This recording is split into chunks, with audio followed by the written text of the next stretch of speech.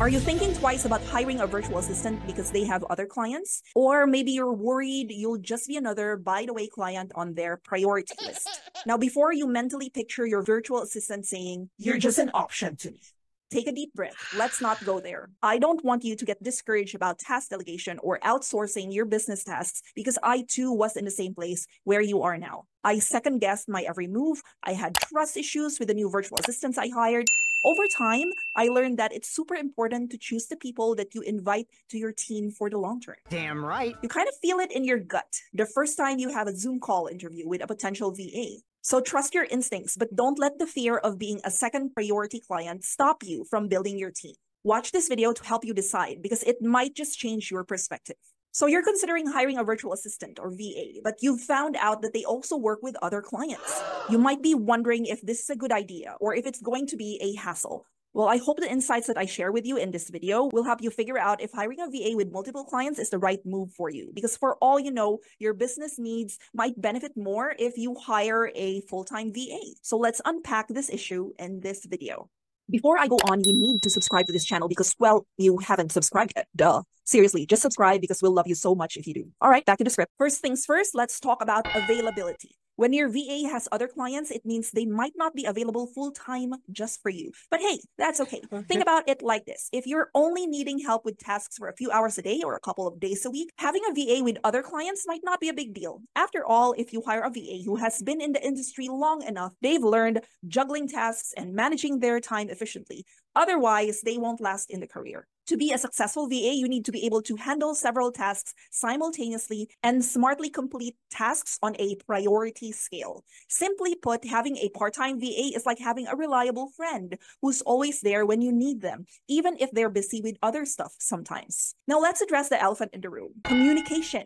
You might be worried that having a VA with other clients means they won't be able to give you the attention you need. What if they ghost you? What if they don't reply to your emails in a timely manner? What if they don't think you're a high priority client and they just let your tasks gather in the corner? Hold on a second before you let these fears escalate further. Actually, you are right to have all these concerns, but don't paint all virtual assistants this way just because you've had a bad experience with a VA who ghosted you and didn't work on your tasks those freelancers that you worked with have bad behavior and commitment issues. For any VA to be hired and kept by any client long term, they have to be good communicators. They know how to keep the lines of communication open. They will let you know upfront about their availability and how they can accommodate your needs. Plus, with tools like email, Slack, or Zoom, staying in touch has never been easier. So if you've had a VA who didn't reply to you, that's not a communication problem. That's a commitment problem. But what about confidentiality? If your VA is working with other clients, does that mean your sensitive information could be at risk? Will they share my files with other clients? Well, it's a valid concern, but here's the thing Professional VAs take client confidentiality very seriously. They understand the importance of keeping your business secrets safe. Just make sure to have a chat with your VA about your privacy concerns and set clear boundaries from the get go. Also, do not ever hire a VA without a service agreement with them, and that service agreement should have a non disclosure clause in it. I must emphasize how important this is. Make sure you have a signed service agreement with your VA or any contractor for that matter. You need to ensure your business's integrity and the confidentiality of your information is preserved. That's right. Now, let's talk about the benefits of hiring a VA with multiple clients. One word experience. When your VA has a diverse range of clients, they bring a wealth of knowledge and skills to the table. They've seen it all and done it all, which means they can handle pretty much anything you throw their way. You need help with social media management?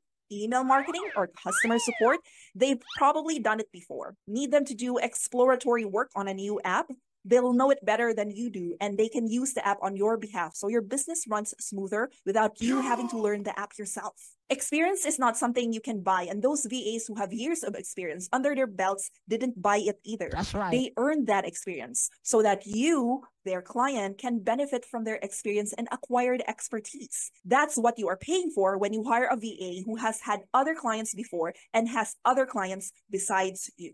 now, one more thing hiring a VA with other clients can actually be cost effective. Since they're splitting their time between multiple clients, you might be able to snag their services at a more affordable rate compared to hiring a full time employee. Besides, when you hire a full-time employee, you have to buy them computer equipment. You have to pay for an office where they can report for work. You'll have to buy coffee and for the office tools and pay for electricity, internet, etc so much overhead costs. You could have marked this as part of your revenue, but you're not because you're paying for all these expenses that come with hiring a full timer. And let's be real, who doesn't love saving a bit of cash while still getting a supportive team, right? But hey, let's not ignore the potential downsides. Having a VA with other clients means they might have competing priorities. There might be times when they're swamped with work from another client and can't give your tasks the attention they deserve. This can happen, and you have to accept that because you did not hire this person full time, your tasks might take a backseat. So when you do assign tasks, communicate your deadlines and expectations clearly. You can even ask your VA to confirm first if they have availability for the task or project before you officially assign it to them overall, it's all about finding the right balance and setting realistic expectations from the get go. So, should you hire a VA with other clients? It ultimately depends on your needs and preferences. If you're looking for flexibility, expertise, and cost effectiveness, then hiring a VA with multiple clients could be a smart move. Brilliant. Just make sure to communicate openly, set clear boundaries, and trust in your VA's ability to juggle it all. But if you want to have dedicated support from one VA, you have to consider hiring them full time and ensuring that they are compensated enough by you, that they won't ever feel the need to get hired by other clients just to pay their rent and bills. I'm sure you have other questions about task delegation and how to work better with your VA, so make sure to watch the next video and learn how to outsource your business tasks the easy and smart way. See you there.